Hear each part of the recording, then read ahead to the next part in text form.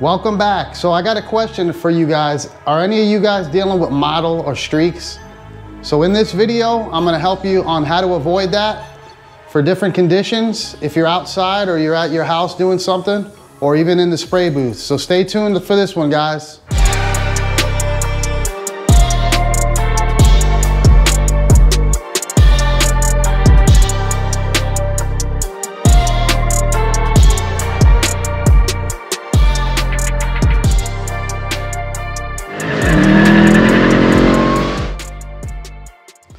So this here is a dark blue, almost like a grayish blue.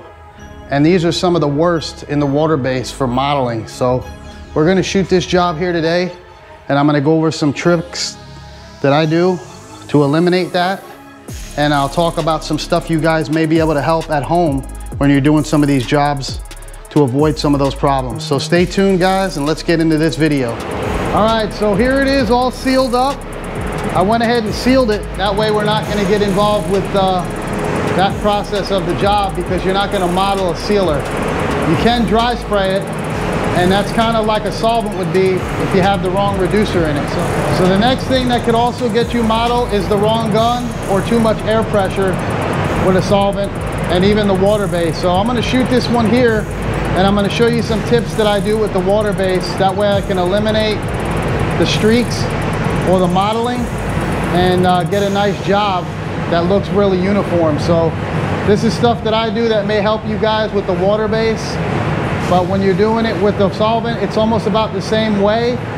It's just a solvent versus water. So you guys have a little bit more control with the solvent product because you guys can change the reducers.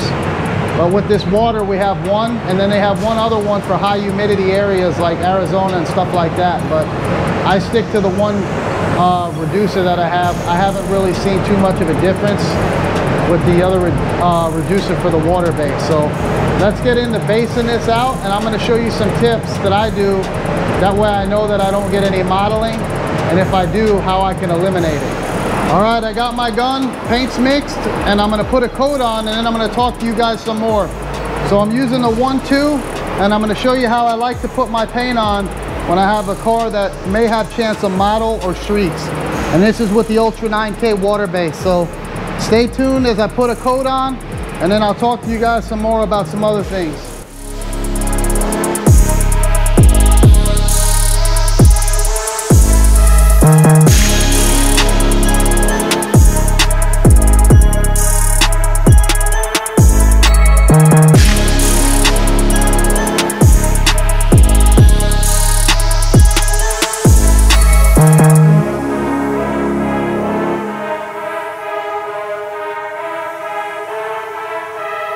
So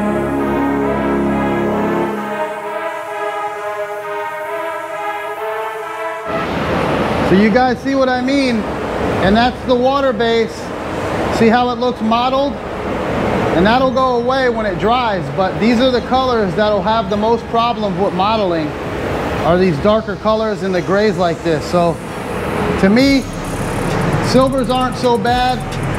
And uh, this is these colors here are the ones that you got to worry about having the mottle in. So when I put them on, I put them on lighter. I don't back to back them. I put one, I let it dry, and then I put another and I let it dry.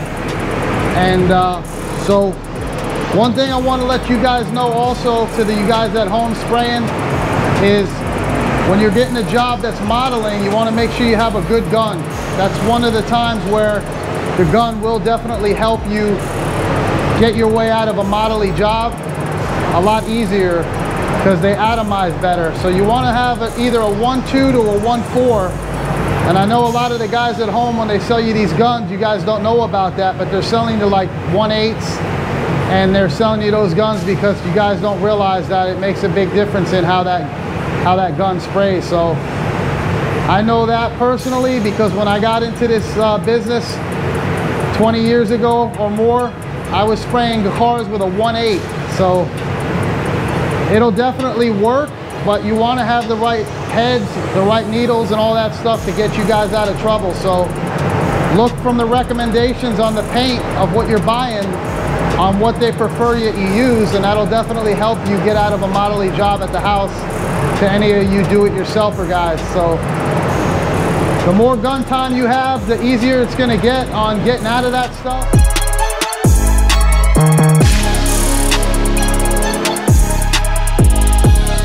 All right, so now I'm gonna apply coat two and I'm gonna put a very light coat on. I'm not gonna wet it up really. Because when you wet it up, that's what causes the mottle, guys. So you've seen the first coat I put on heavy enough to where you can see the mottle. And now the second coat, you won't see any mottle in it because I don't put it on wet enough to mottle. And that's key with this water base when you're getting rid of mottle. And that's the way I do it. You know, you guys might have a better way that works for you, but this is the way it works for me. So I figured I'd show you guys. So the first coat I put on wet enough to where you can see the mottle. And then the second coat is gonna be to where you don't see the mottle.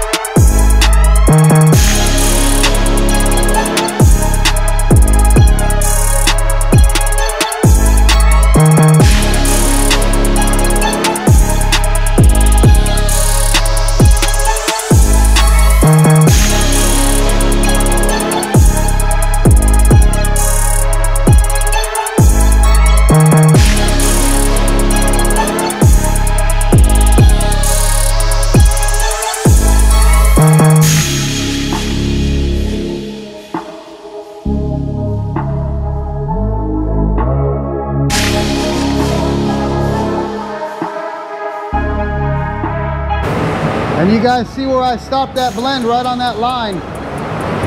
Never stop a blend in the middle of a panel without a line or somewhere to lose it, guys. It'll definitely bite you.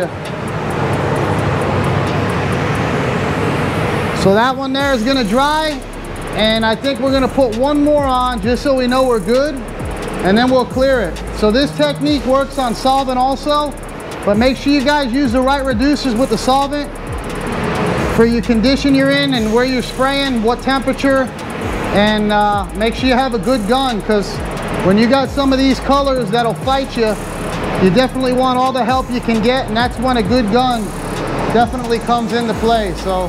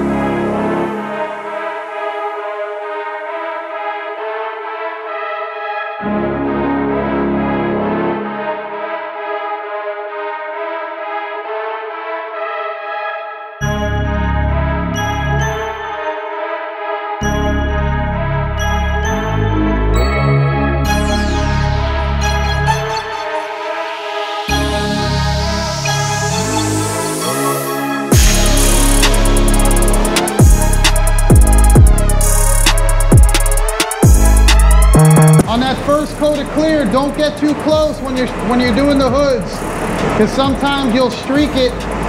It does it more with solvent than it does with the water base, but you can also streak the base by putting the clear on too wet. So we're gonna go ahead and put coat two on and see it all finished up. So if you guys got something out of this, go ahead and give it a thumbs up. And we're gonna be doing a solvent hood with a metallic matte finish and I'm going to show you how to get out of a solvent job with blotch or streaks in that one too. So I'm going to clear this one and I'll show it to you all said and done. You guys tell me what you think.